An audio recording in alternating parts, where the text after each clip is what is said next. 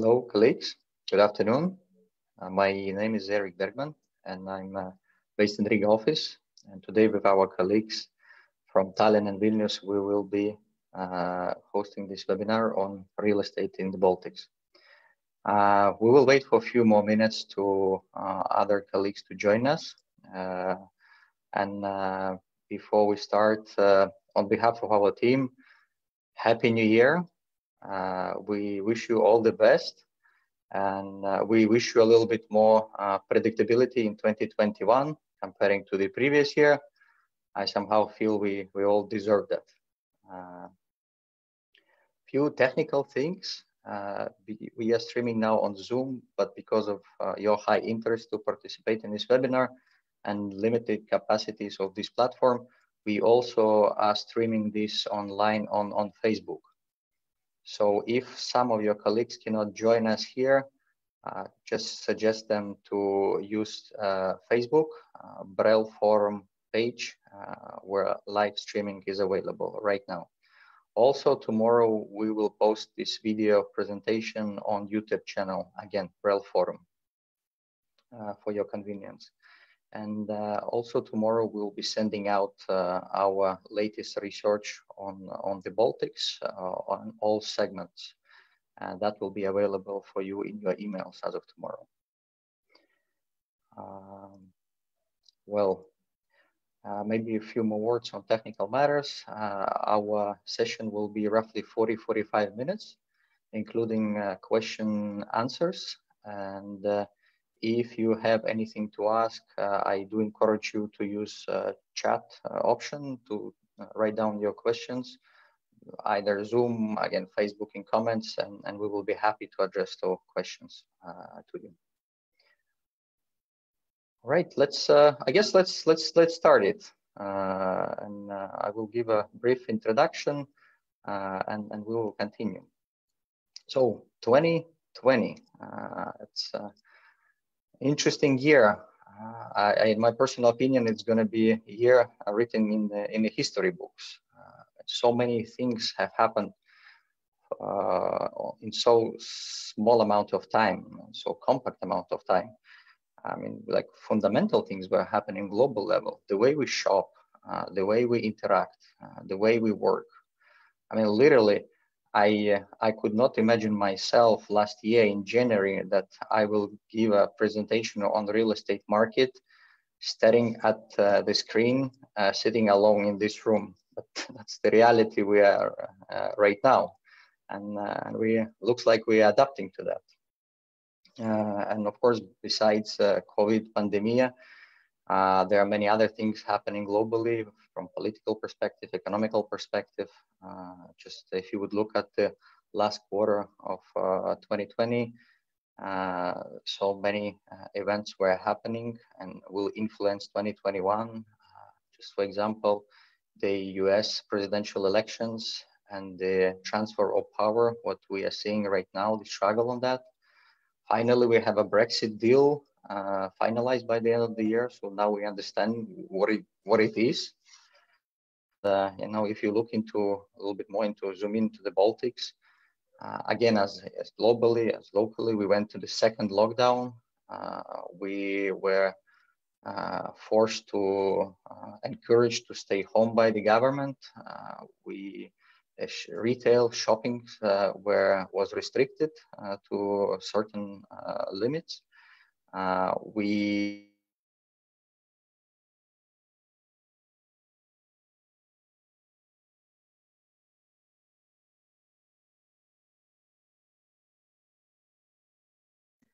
time what uh, we are facing. And, uh, and we will be talking uh, mainly in, in our presentation, we'll be talking about last quarter of 2020, but we don't we, we won't try to speak in numbers. What we will try to do we will try to give you some insights uh, or trends uh, how we see it and, and what we see. And we will be talking about pretty much four themes. Uh, we will be speaking on capital markets, and we will describe how investment flows are going across the Baltics. Then we will touch offices, we will be touching retail and industrial. And with no further delay, I would like to give the floor to my colleagues, Margus, who will be speaking about investment. Margus, the floor is yours. Thank you, Eric. Yes, indeed. Uh, we had a very interesting, uh, challenging year uh, last year, 2020. But uh, if you look uh, from the investment point of view, then uh, it was actually quite good year. So eventually the total volume of uh, investments in Baltics reached, so to say, normal level, uh, one one uh, billion euros, and with that, it's it's being totally in line with with a couple of previous years, 2018, 19. So something that uh, was maybe a little bit surprising, but then again, we of course all hoped it. Uh, in the middle of uh, the last year, there was quite high doubt that do we reach uh, do we reach 1 million 1 billion or not uh, because everybody was very cautious uh, there was a lot of uncertainty etc etc but uh, by the end of the year uh, many delayed deals many new deals were uh, completed. And that shows that actually investors are looking way beyond this crisis. And uh, decisions are made not only uh, based on today's knowledge, but looking uh, several years ahead. And also there is a lot of uh, capital available still, so there is a need to invest. And that is also pushing, pushing this, uh, this side of real estate market quite uh, strongly. And we don't see any reason why this momentum has to kind of change in 2021 even considering the situation that now we have more light at the end of the tunnel, so to say, uh, regarding this COVID crisis, hopefully these uh, vaccines will work. It will open up the uh, economy more, uh, more, even more, and maybe from the um, investment point of view, what, what the, one of the most important things is is that it will open uh, this kind of cross-border uh, investment opportunities more than they are at the moment. So people can again travel, the people can go and see the properties, people can can interact with the properties uh, more more directly, and that will for sure kind of uh, help help uh, even more uh, investment market uh, turnover to be maybe even better than in in 2020. Uh, so as I mentioned, there is still very high appetite uh, for uh, for investment opportunities, and the main problem is that uh, uh, the lack of especially good high investment grade products that has actually lasted already a couple of years, but has been even more more more of a topic last year and will be probably this year. So hopefully we will find more products for the investors. Good thing is that also banks are uh, very cooperative, so to say, and, and ready to finance uh, deals. Conditions are, I would say, pretty okay. So what was feared that maybe interest rates uh, will go up and then the conditions get harder and harder, then actually uh, the information that I have for uh, at the end of last year, I would say the conditions are quite okay. Of course, it depends on the property, it depends who is the who is the borrower, etc. But I would say that uh, financing is clearly not the one that is kind of anyways hindering or uh, uh, making problems in, in, in investment scene. Uh, given the kind of challenging, uh, still challenging situation, uh, it's clear that uh, in focus are more this kind of grocery retail, core logistics and office. And that was seen also already also last year, where uh, most of the top 10 deals were actually from office sector in Baltics. So that shows that investors are not afraid that something will happen terribly in office sector. And then uh, we will talk about this, of course, later, but uh, still uh, life will go on, so to say and of course grocery retail everyday life uh, and uh, logistics this is something new this is very hot topic at the moment uh, most probably maybe the most sought after product all over the Baltics. We see that many investors, for example, who previously didn't didn't consider logistics at all, or uh, it wasn't for sure in, in focus, are now focusing more and more also in logistics. But then again, I have to also say that not all is gold that shines also in logistics. So uh, mm, uh, it is, this sector has its own kind of specialities. And if you don't know the sector very well, you have to be careful and, and uh, analyze a bit more uh, uh, because it's a, it's a often single tenant uh, cases, etc., etc. So there are certain specific risks uh, related to that also. Yields in general, I would say, are stable.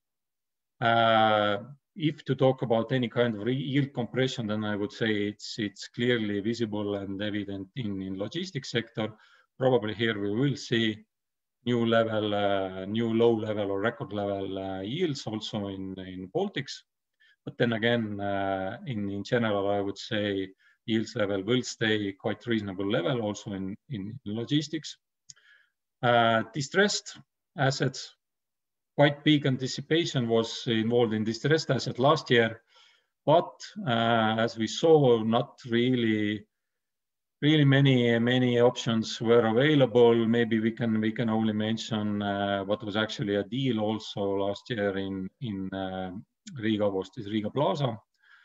But in, in general, I would say that uh, not many distressed properties came to the market. Maybe something will come up uh, in 2021 because probably there are some cases that might turn turn up to be a distressed cases, but hopefully uh, owners, banks, etc., will will manage the situation so that we will not have too many these kinds of properties. And if to talk something about something new, then I have to again put an emphasis on, on residential and also now senior housing uh, segment, because uh, in Estonia, for example, we saw quite significant uh, rise of interest also in that sector, and hopefully this will spread also all over Baltics and will create more opportunities for uh, for investors and all the other kind of market participants. So that's that's a, a quick overview from my side regarding uh, Baltic investment market. So the outlook uh, for 2021 uh, is, in my opinion, pretty good. There are no serious serious aspects that would would uh, make it uh, worse than it was 2020. So let's hope for the best and all the best luck for uh, all the market participants. So I give it the word back to Eriks now. Thank you, Margus. Uh, I will continue on office part.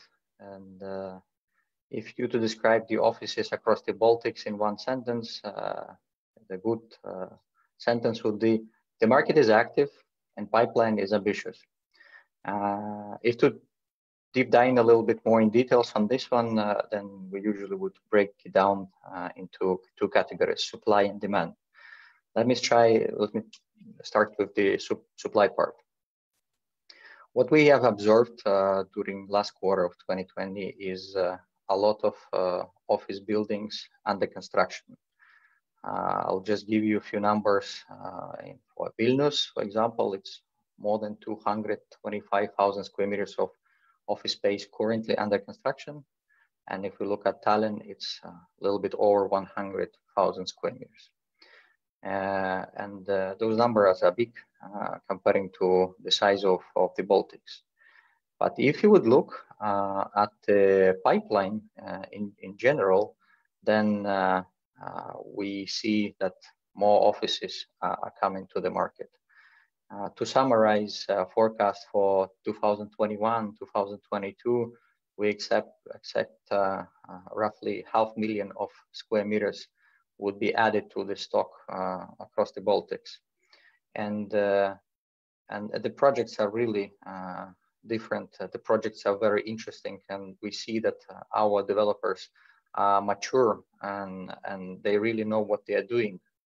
and this is a great thing to observe actually on the market.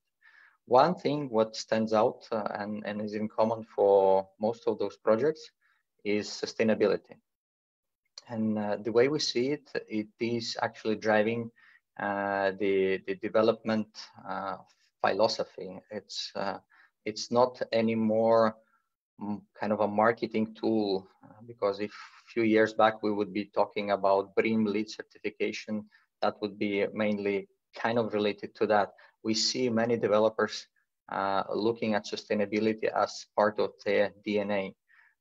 We we see things like uh, well certification for for buildings. Like uh, we we see new terms like NZEB buildings, like nearly energy zero buildings they are entering the market. Uh, they will be around us, and that's going to be our not just the future; it's going to be our present uh, in in years' time.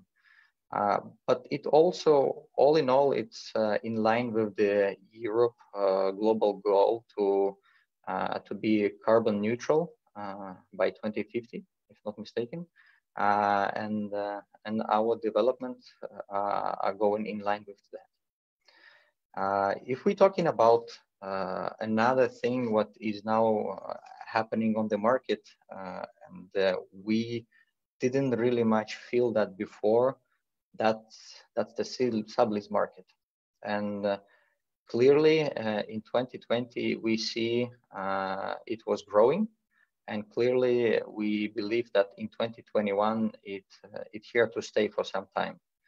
Uh, mainly, it's related to the fact that uh, large-scale uh, organizations uh, take into account that many of the, their employees are working from home, trying to reduce their costs and optimize their space.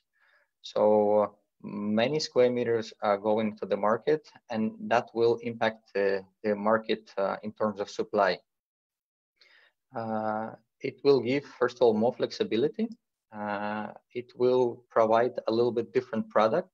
What we see, it's not just the space. Uh, in many, many cases, it's uh, office with the furniture fully equipped.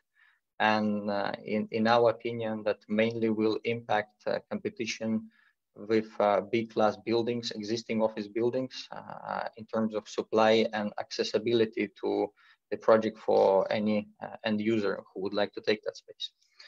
So this is something that uh, we are observing and we see it will be somehow influencing the market across the Baltics. And, uh, uh, and, and, and, those are interesting observations. If we're looking on the demand side, uh, one thing clearly uh, is it can be highlighted is flexibility that tenants are requiring nowadays. Uh, of course, it's all uh, dedicated and related to COVID-19 pandemics, uh, but we see it's it's been negotiated very hard and it's understandable. End users, they would like to have more flexibility in terms of space use, space expansion, reduction, or lease early termination. And, and, and we see that it will somehow influence uh, the market as well. In terms of uh, demand, uh, as it is, it uh, it was a moderate demand locally. Uh, uh, we see quite good transactions from existing companies on the market, uh, improving their quality of office space. There are many companies who were expanding as well, and we also saw newcomers into the market. and Mm, we also ob were observing uh, some IT companies based in Minsk uh, show an interest in the Baltics. Uh, and uh, that interest was influenced by the political situation happening in, uh, in the, our neighborhood country. I guess the best example of that uh, would be a um, company called World of Tanks. it's a it's a uh, online game developer, one of the leading globally, uh, and uh, they officially announced that they will be relocating 300, 300 employees to their Kiev office, and they also will be establishing an office in Vilnius for 500 employees. And there are a few more examples uh, of, of, of, that trend happening. Um, again, uh, GBS segment newcomers, uh, they are on the market. We, we see it's uh, Uh, they're looking at uh, some possibilities across Lithuania, Latvia, and Estonia. A good example is Norwegian Air uh, Shared Service Center, which landed into Riga office, and they, they already operating here. So uh, we see that uh, demand is quite active uh, nowadays. But maybe just a few words about the trends, what is happening in, in, in, the workplace. And, and that's mainly related to how tenants are seeing their space and, and their needs. And as a Colliers, we did a survey back in spring and in autumn, and we were surveying respondents on uh, how they see their work from home, work from office, and vice versa. And uh, during the surveys, we conducted uh, more than 18,000 people, more than 60 countries. And, and we were able to actually compare data, what we gathered in spring and in autumn. And there are a few things what I would like to highlight. Uh, it looks like we adapted to work from home. Uh, and we just see these results comparing of how people are satisfied in spring or during autumn time. Uh, but uh, but people are working more hours. Uh, there is a blur line between work and home. do people do miss collaboration in person or this so-called office life of informal talks and meetings?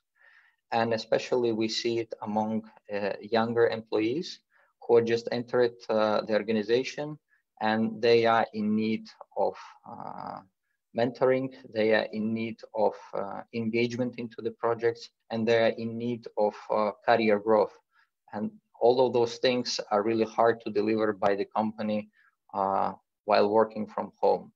So we do believe work from home will stay, and according to surveys, uh, I would say 80% of respondents were mentioned that they would like to have that opportunity when things are back to normal, as we call it, to have that opportunity to uh, work from home, but one for one, two days per week. Uh, otherwise, still they would like to come back to the office. And another thing to mention, and it's relation between employer and employee. Uh, we see that now it is a big rise on uh, implementation of the technology, how people can work remotely, access data, access information. There is a rise of trust between employer and employee. The employers were forced to give away that option that people can work from home. And we see uh, that's here to stay. And, and, and the, the trends, what we are seeing as well is new social security, as we call it, and it coming from employees. They, in their priorities list, they're putting things like health insurance in their priority list. They are uh, considering how the employer is uh, taking care of hygiene in the office, how they're taking care of things that can influence their health. That's on their agenda for the employees right now. Those are the trends on the office segment. Uh, and uh, I'm happy to give the floor to Evgenia to speak about retail. Hi, everyone. Uh, last time uh, when we have met, the situation was getting back to normal. Uh, however, the end of the year turned us back to the similar situation, which was in, uh, in March. And what we could see that the COVID really boosted to implement the needed changes at the fastest pace to everyone. Uh, tenants, uh, due to the new restrictions, was forced to close the stores. Uh, however, there was uh, working as a pickup solutions and uh, tenants was implementing also the online uh, platforms and, and adjusting the online sales. And what we could see, the landlords was also trying to do everything uh, very like uh, fr friendly, and uh, they was trying to be uh, very, um, very, um, very friend friendly in terms of the tenants. Therefore, also right now we could see that landlords implemented case by case strategy to um, to different tenants. Uh, however, uh, taking into account that uh, support from the government side are still in process, we do not have the common practice for the whole shopping centers in terms of the tenant discounts and uh, ongoing processes. Uh, therefore, uh, tenants, uh, they, therefore we may see that right now the online sales are going uh, up and uh, overall, we have observed that uh, over the year, there was increase in 26% in online sales. What is interesting also to add uh, that uh, a lot of internet stores right now are registered in Lithuania. Uh, we don't know what the impact will be overall for the whole Baltic countries, but uh, I think it will be very interesting to see uh, this trend and uh, and have some more detailed results in the in the end of this quarter or in the middle of the year.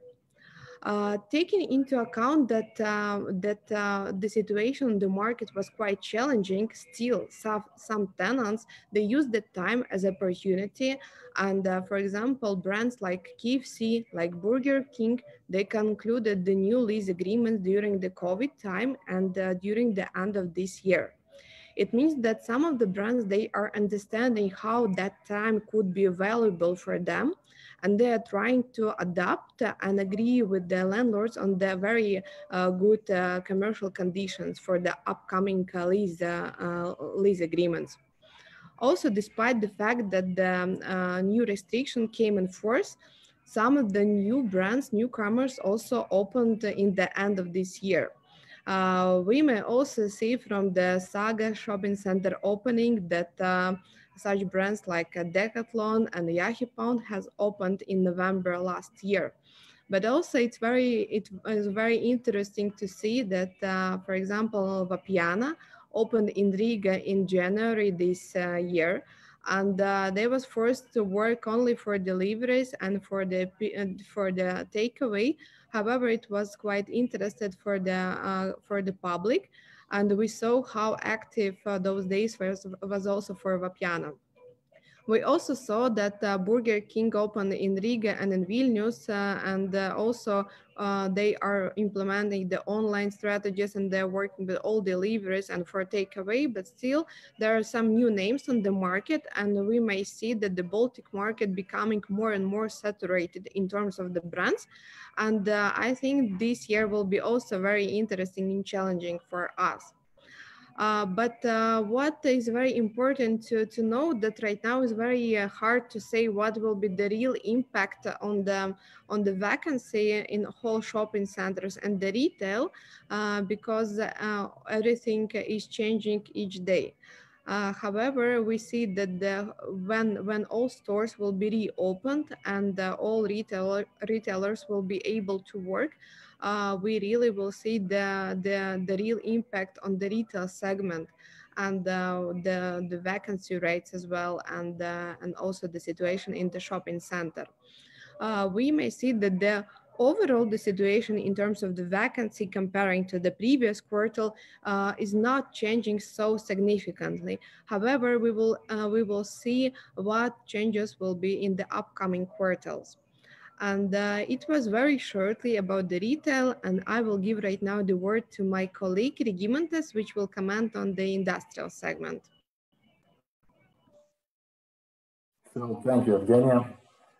Um, welcome uh, everyone to the short review of um, probably, arguably most resilient uh, segment, at least for 2020 uh, in, in, real estate, uh, which actually had um, quite active closing for all three Baltic countries. And to put it in few words, I would say uh, I would say that um, mm, uh, Q4 could be called a simple extension of uh, of uh, Q3 um, with rather high levels of various uh, requests, attractive transaction activities, um, rather positive outlook towards the future.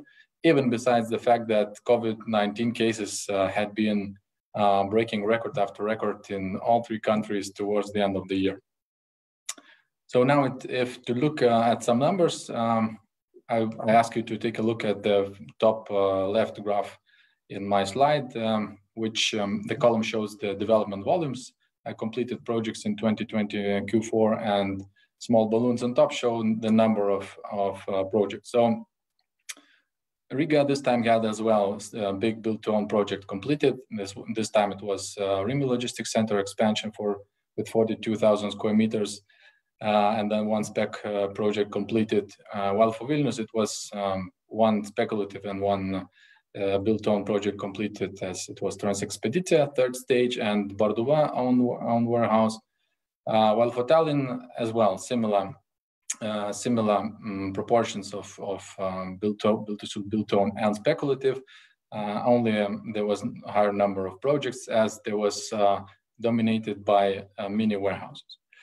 Uh, now, the take-up levels uh, looked really promising. Actually, actually, in Vilnius and Kaunas, they exceeded 20,000 square meters in each mar mark in each market, while in Tallinn it was slightly slower on the other hand, still um, showing uh, rather good uh, absorption levels in general. And uh, now talking about speculative market, that means that um, basically a good portion of existing space as well as practically all newly delivered space to the market has been successfully absorbed by the tenants. Uh, and uh, this totally applies to um, um, bigger speculative projects in Vilnius and Riga. So in Vilnius, it was third stage of Transekspedicija for almost 13,000 square meters. In Riga, it was uh, Piche Green Park first stage uh, of 20,000, both fully leased till the end of the year. Mm. And from demand perspective, uh, it could be said that uh, Q4 was mostly dominated by uh, logistics and distribution companies, um, mm, taking up more than 50% of the space overall, for Lithuania, for Vilnius, it was even more. It was more than 70% of, of the space in this quarter. Uh, and all the rest, um, demand was mostly traditional retail, some light manufacturing, some small production, and uh, smaller spaces in e-commerce e and e-commerce related um, transactions.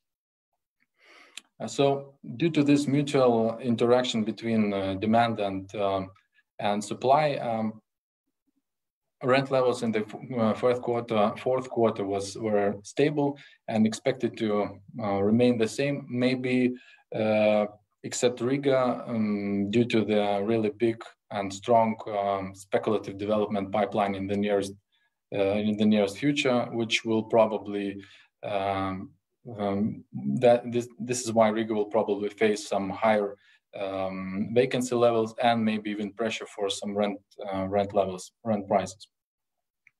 And uh, expanding a little bit on the nearest future, uh, which is uh, um, reflected in the graphs, top middle and top uh, right graphs in my slide, uh, we could see that um, Tallinn will will be mostly dominated um, as it's as it is now by stock office um, projects and mini warehouse projects together with build to suit and build to own projects uh, for both production and some logistics uh, companies, which in um, case of the Riga and Vilnius could probably take up some speculative space.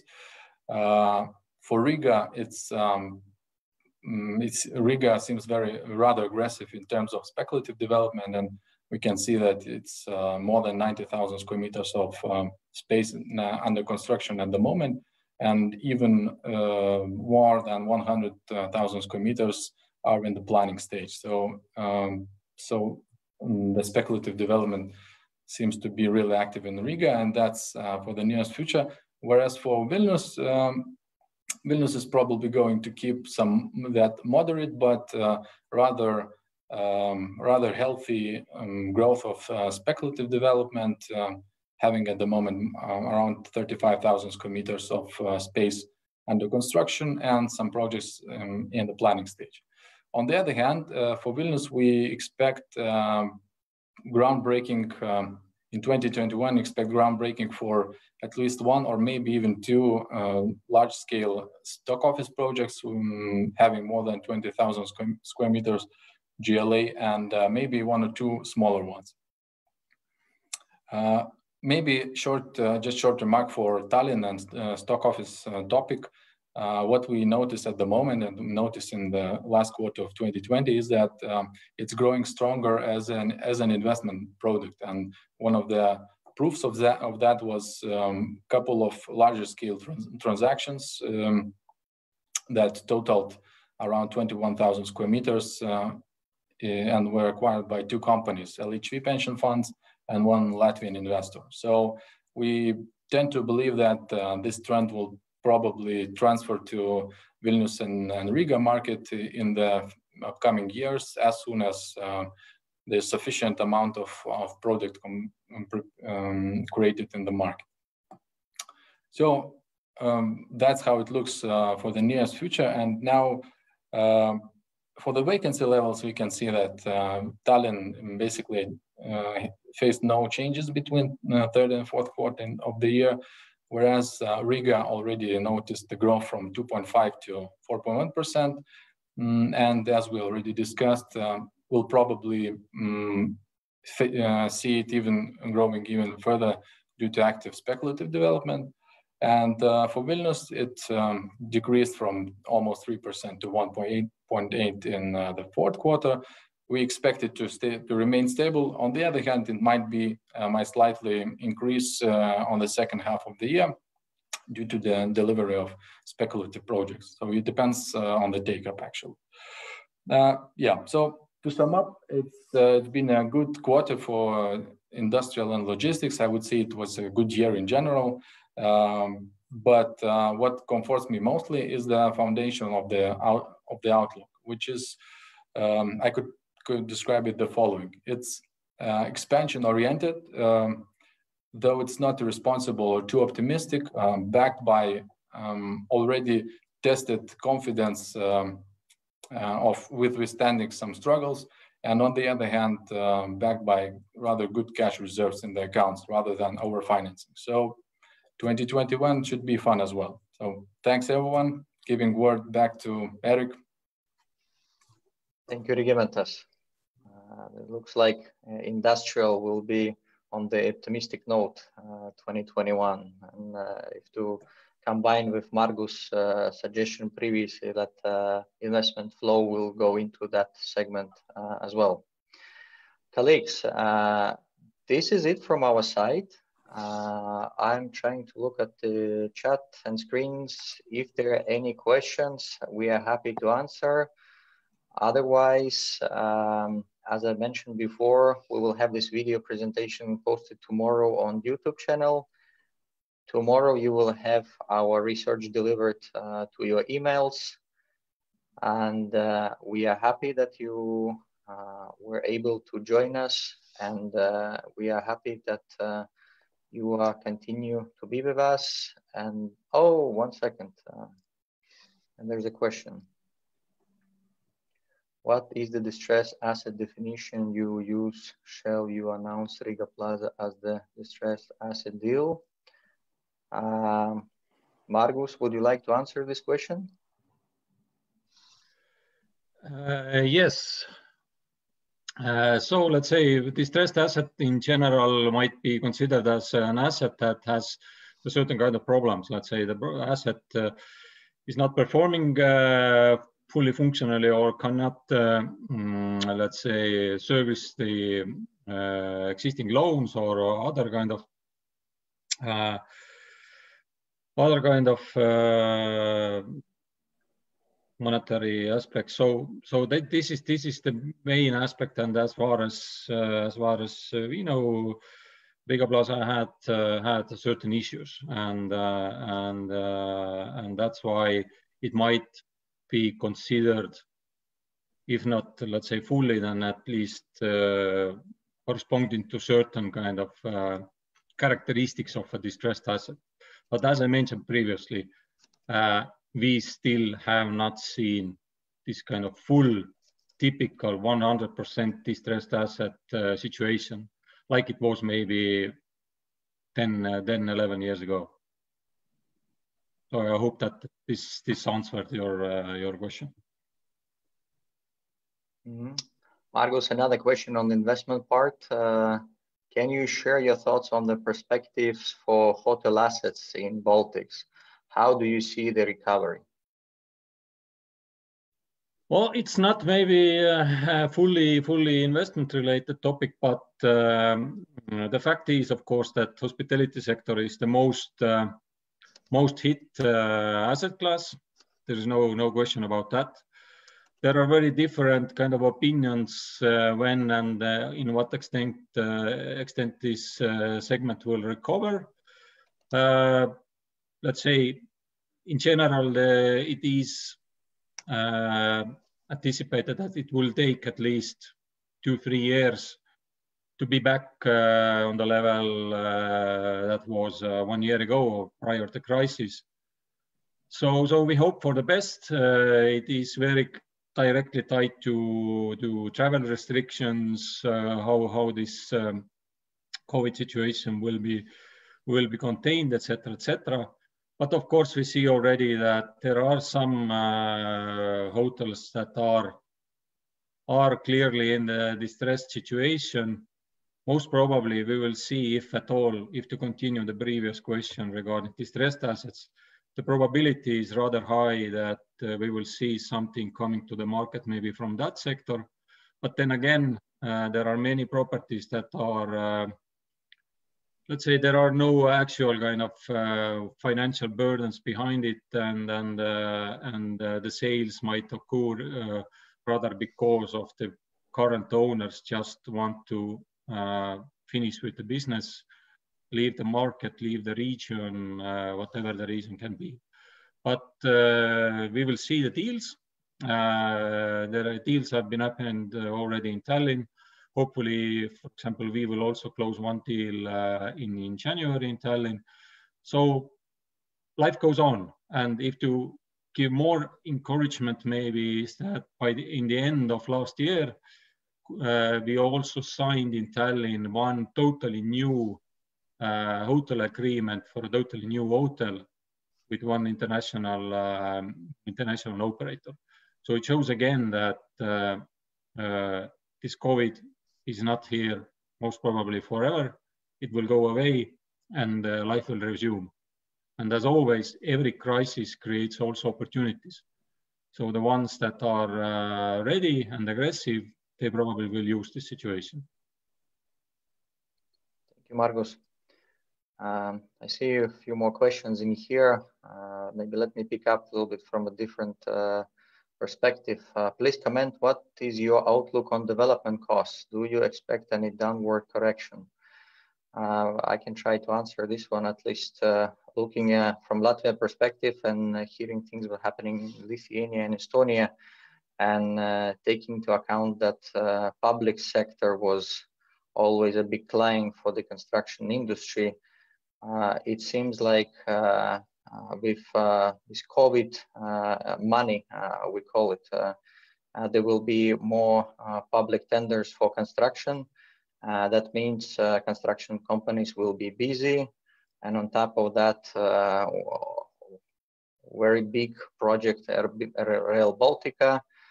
So summing up that, uh, somehow we don't feel that uh, there will be decrease in construction costs. It's rather will stay at the same level or there will be increase. We are not an experts on that, but that, that's how we see the market, and that's how we hear from from the experts uh, in the construction industry. If I may add a comment here, uh, uh, this of course depends, but I can say that at least what we have heard uh, in Estonia, that probably because of because of the situation, there are cases where uh, construction costs have been a bit uh, lower than they were previously. But this is still quite small change in the, in the development cost and nothing kind of very huge marg margins.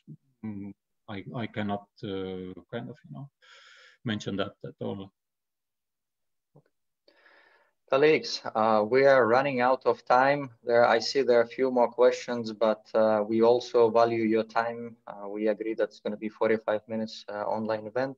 We will answer those questions below in the email separately if uh, they are not anonymous. And uh, thank you very much again for joining us. Happy New Year again, and let's keep in touch.